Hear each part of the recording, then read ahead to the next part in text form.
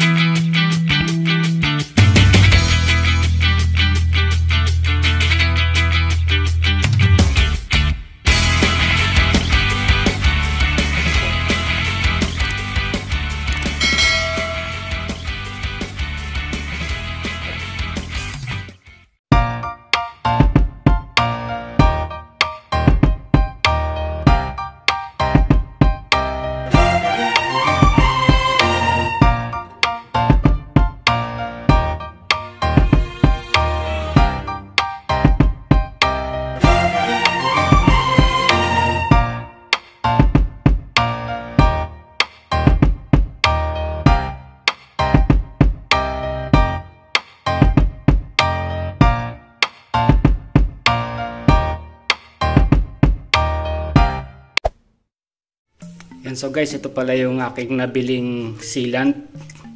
Yan. Mura lang siya eh. Uh, sa 39.75 pesos lang siya. So, pwede daw siya sa...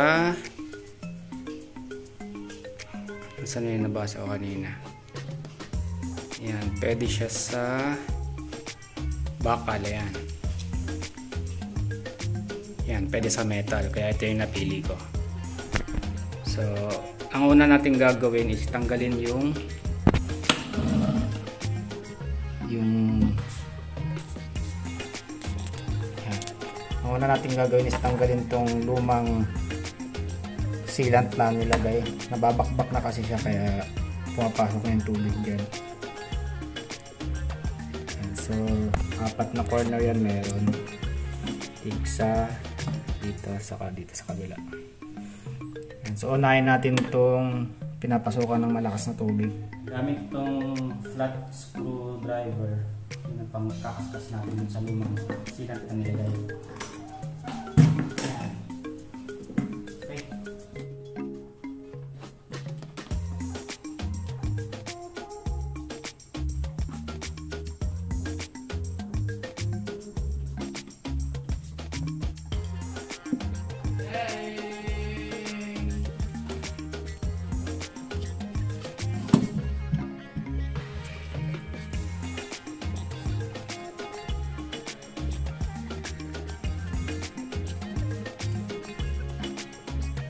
Yan, make sure lang guys na matanggal nyo lahat para walang para walang residue na ano. Para pag nilagay nyo yung bagong sealant, flat na flat siya.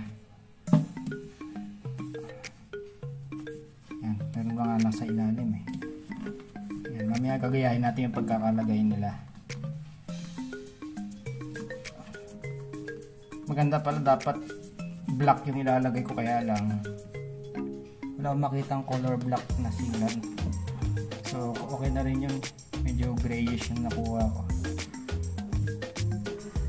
Yan babalikan ko ka mamaya pag uh, natanggal ko na lahat to.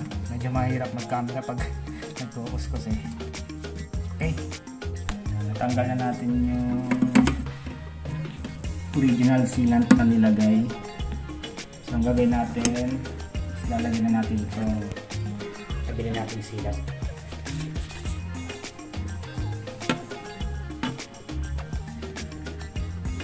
So dahan-dahan lang sa paglalagay para hindi masyadong makalat. Yan. Ginamitan ko pala ng gunting yung pag bukas dito para maliit lang yung butas na makuha natin para maganda yung para pointed yung paglalagay natin.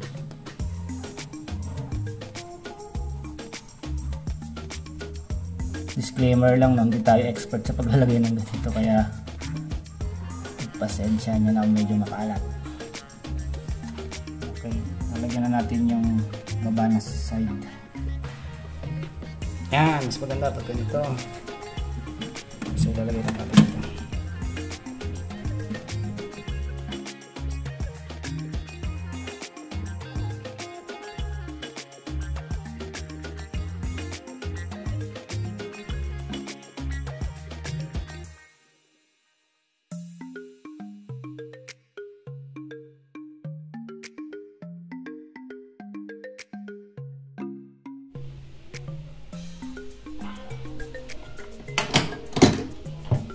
Yan.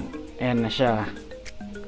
So, as you can see, yan, kulay parang kulay dirty white yung ano. Mas maganda sana pag itim ang nilagay nyo pero okay na rin yan kasi natatakpan din naman yan.